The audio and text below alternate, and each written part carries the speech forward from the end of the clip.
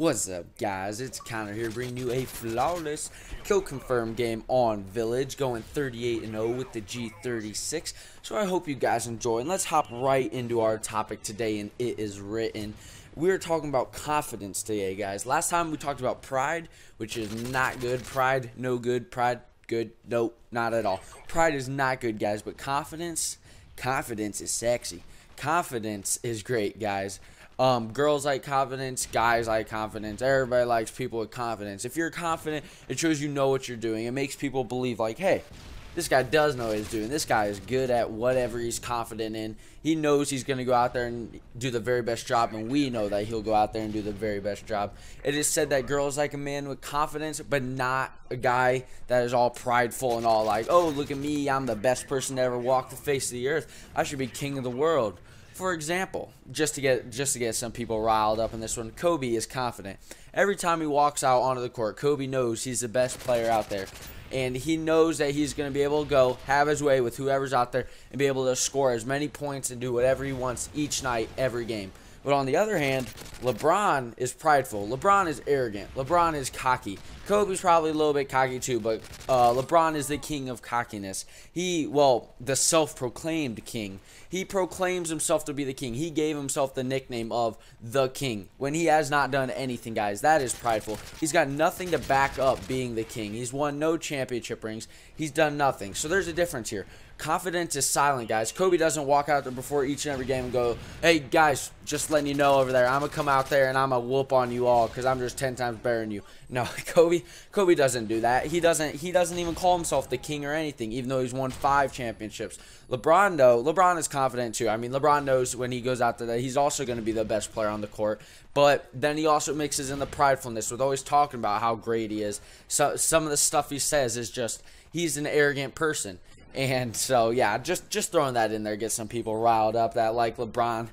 Um, but anyways, guys, confidence is described as a state of being certain that either a hypothesis, either a hypothesis or prediction is correct, or that a chosen course of action oxygen.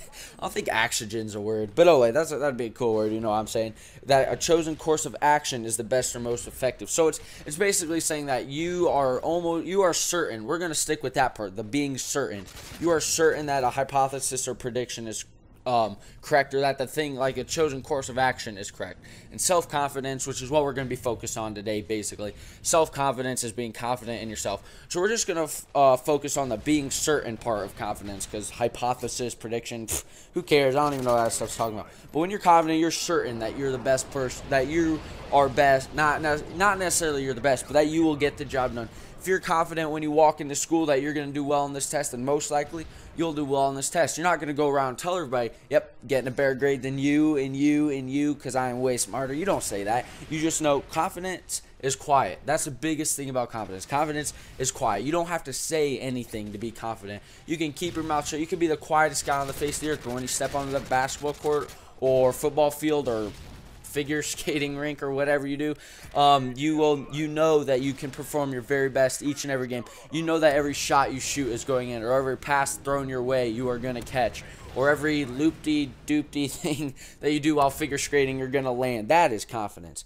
And now self confidence is very very important. Self confidence there's different ways to be self-confident. Self-confident people, you do what you believe is right no matter what because you are confident. You are certain that what you're that what you're standing for is right. You might be confident. You might stand against bullying and instead of falling into peer pressure and starting to bullying somebody, you actually standing for what you believe in because you're confident you're right. You know for fact that bullying or whatever is not good. That bullying, beating up on this kid over here is not good. So you take a stand. You tell those people to cut it out rather than jumping in, just being like, well, maybe maybe bullying's not that bad, you know what I'm saying? But no, you stand there and you're like, uh, yeah, bullying's bad, guys. Leave them alone.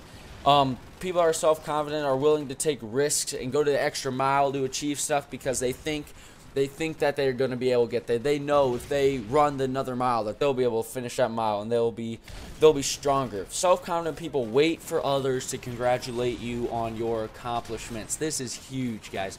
Prideful people will go out there looking for they'll be going out telling the entire world that they scored 30 points last night and they'll be going telling everybody trying to get other people to say wow, great game, great game. You played awesome out there. 30 points, that's crazy. Whereas confident people will just be walking around and someone will be like, um, someone will just have known that they got it. Maybe a teammate will be like, good job, dude, 30 points, that's crazy. Or someone out in the or fans or stuff. You will get people will recognize what you do. You don't have to go out there trying to find people to recognize it. I guarantee people recognize what you did. People will know that you scored 30 points, and they'll come up and they'll congratulate you on your points. And you'll just just say thank you, and you'll move on, and you'll feel really great about it. Instead of the prideful people going out trying to tell each and every person they see that they scored 30 points, and then they'll be like, "Good job," and you go, "I know, I know, I'm just awesome." No, guys, confident, quiet, quiet is confidence, guys. Quiet is confidence. To have to have self-confidence, you have to have self-esteem, which is huge, guys. Self-esteem is so big.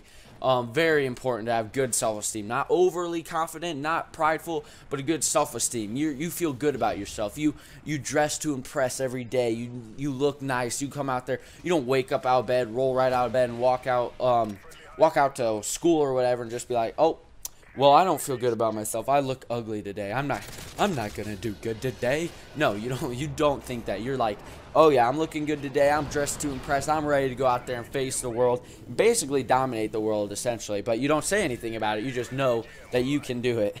And the Bible, this is going by quick, guys. I'm probably going to have to do another thing on these. These things are way too short, but Bible says in Hebrews 10 35, it says to hold on to your confidence. It says, do not lose your confidence, for it is very important. Um, Therefore, don't throw away your confidence, which has great reward, for you need endurance, so that you have done the will of God, you have received what is promised. So don't throw away your confidence, guys. Even God says, hold on to your confidence. Don't be cocky, but hold on to your confidence, guys. I hope you enjoy. I'll see you guys later. Adios.